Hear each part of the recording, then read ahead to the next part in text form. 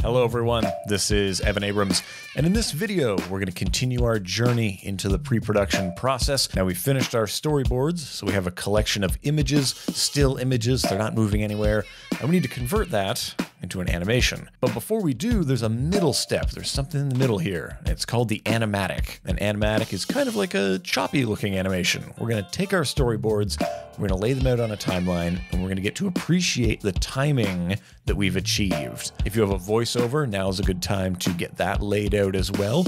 Or if you don't, you can use a scratch track to time it along or if you're using music or sound, this is where you need to start assembling your parts together so that it starts to make a cohesive piece. We may need to make parts shorter, longer, faster, slower. We can only tell that when we introduce that fourth dimension of time. I'm going to go through a few methods on how to accomplish that. We can use an editor like Premiere. We can start it right away in After Effects.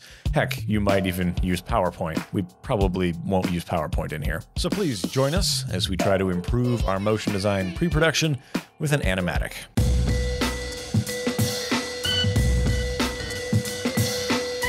This whole series on pre production is brought to you by Milanote. Milanote is a wonderful web application that helps us organize our pre production process. We've been using it to go from mood boards into storyboards and style frames and animatics, taking us through the entire project all the way from design brief to final execution. It's a great way to organize a collection of nebulous ideas and get you being more effective with your pre productions. Please use the link in the description to get yourself a free trial of this wonderful application and start making your pre production even more productive. So, before we begin an animatic, we need to have our storyboards more or less complete, or at least complete to a stage where we're happy to start laying them out. Here I've got the collection of storyboards, and if you've been following this series, you've seen us arrive at this. But we could use sketch storyboards. Yours might be a lot rougher. You might even have a mixture of rough and shaded, and ones that are more lines, ones that are more tone. At this point, we just need enough material to visualize what's going to happen. Now, as I said in the beginning, we're going to go through a couple of methods. The first I want to show you is creating an animatic using a nonlinear editor like Adobe Premiere. So first, you want to import your storyboards. We have them here organized into a nice bin, and they're labeled artboards 1 through 20 in this case. Labeling and naming things is important. You want them to appear in an easily sortable order so that if you selected from first to last and then drag them down here onto the new sequence button, it's going to create a sequence from first to last in the order that you have named them. That makes this a lot easier. And by default, each one is five seconds. From here, if you don't have any audio, you don't have any voiceover considerations, now you can just start to go in here, grab these images, zoom in on your timeline, and just start pushing them around. Just start making them shorter, longer, sliding these things around, making use of all the wonderful editing tools. And what we're doing is we're considering how long we're going to necessarily be looking at each of these images. Our storyboard is supposed to be the main beats to communicate the story of this piece. So, how long do I think we'd be looking at this establishing shot?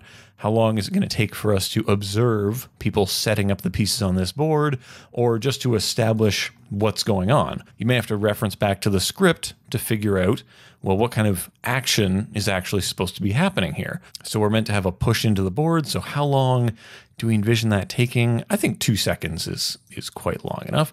And you can drag it like that, or you can drag the other clip over top of it, and that'll that'll remove it. So now, all right, that's probably enough. Now we're going to move to this angle. And then how long before the next thing that happens? How long before this arm comes into frame? I think it should be happening happening pretty quick Boop, beep. and then the hand will go away. We don't have a board for that. We don't have a board for the hand coming and going. And we also don't have boards for the hand coming in and touching the clock again. So if we wanted to add more layers of detail here, we might draw those other beats that are also meant to happen in this shot. But in this case, I think I'm just going to grab over here this clip. I'm going to hold down Alt, drag, creating a duplicate of it on my timeline.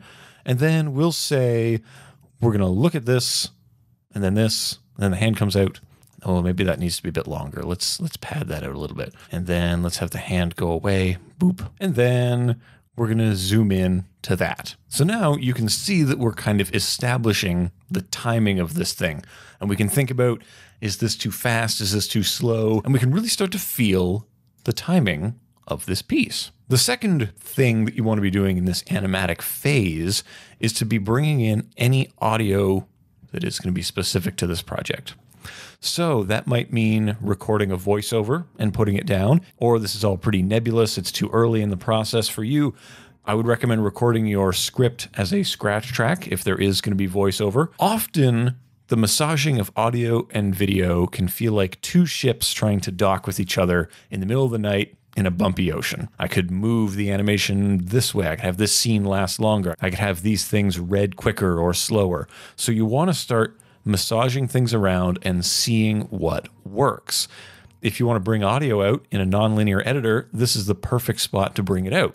It's a lot easier than trying to work with audio and audio playback in After Effects. That can be unfun. So here we're able to look at our audio, we can listen to it, and we can find beats like this one, where I think a scene should probably change if there's like a kadunk. So maybe we're pushing into the board.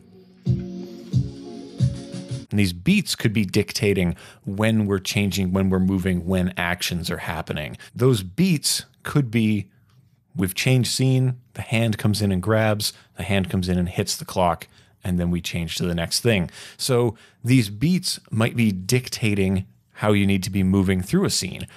And you can tell right up front if these beats aren't lining up with how things should be animated, it feels rushed, it feels slow, now you can swap it out. And if you've been sticking through this whole series, you know you might have an audio driven piece, you might have a visually driven piece. So you may just decide, I'm going to do the animatic and we figure out some audio to go with it. Or I'm going to lay down some locked audio. We're going to figure out the visuals to go with it. So those are the decisions you want to be making here.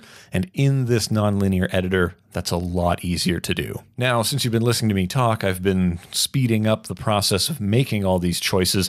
And now we've clipped together a wonderful piece for us to enjoy. And clearly, there are some tweaks left to be made. So you can see visually when we look back at our goals for certain scenes and what we wanted to achieve, this timing here is probably not what we want because we're going from thinner and then into thicker bands. We know that these images are going to be on screen short, short, long, longer, longest. So we'd probably want to invert that relationship and see how that feels. But here it's easy to play with those ideas. We can play with how long we're looking at certain things, and then we can start animating them. If we started into production and animation right away, then we get into some costly oopsies. Here we can really define what we're doing before we have to go do it which is why I generally say start your animatics, start this process in a nonlinear editor of some kind. Maybe that's Premiere, maybe that's Final Cut, maybe that's Vegas, maybe it's actually something that creates animatics out of storyboards already. There are various storyboard softwares to make that happen. But some people like to start right in After Effects. If we crack the old After Effects open, we can create a new composition, and you'll want to work in whatever size your storyboards are, which should be at least the frame ratio of what you're creating, but you might crop in narrower or larger and move things around. And then again, you would want to either just drag in all of your boards in here and then start dropping them down onto a composition or just drag them onto the new composition button, which will bring up this dialog. And then you can specify how long you want the stills to be and if you'd like them to be sequenced or not. And you will want them to be sequenced because we're putting them in a sequence. And then whether you want them to overlap or not. Start with, say, three seconds long and use the dimensions of the first artboard. And then you hit OK and we end up with these wonderful stairs, which is pretty much exactly where we started in Premiere. You can also combine these two methods. You could say start in Premiere, and then we could take this, we could copy it, we could go back into After Effects, and then we could uh, paste it. Then you end up with this kind of a thing, which isn't necessarily terrible. Uh, just notice that the frame size of the composition is a little bit different because the thing we're copying and pasting isn't exactly the same size. However, you get things in here and start massaging them, one thing I love about doing some of this process here in After Effects is it's very easy to start adding in what kind of motion we want to have. First, let me just fix up this comp here so we can go to our composition settings and we know that this is a, uh, a 720 by 1280 situation, we can go in here, we can start adding motion to things. We could be keyframing the position, rotation, scale of these boards to get us a little bit closer to where we want to be you can keyframe things here in Premiere as well. And sorry for jumping back and forth, but, but I think it's important to kind of call things out so we can draw the parallels. You can go into the effects controls